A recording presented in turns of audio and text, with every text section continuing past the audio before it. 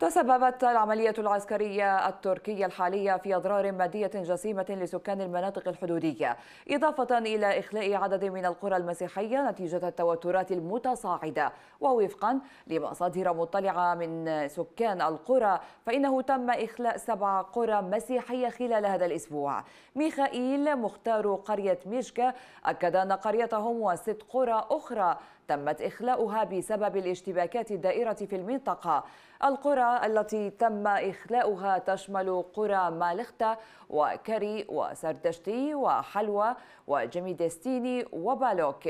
وبحسب المختار تضم أيضا كل القرى من هذه أو كل قرية من هذه القرى من بين عشرة إلى خمسة عشر أسرة حيث نقلت كل عائلة إلى أماكن آمنة أخرى نظرا لتفاقم الوضع الأمني وأيضا المخاوف المستمرة من القتال.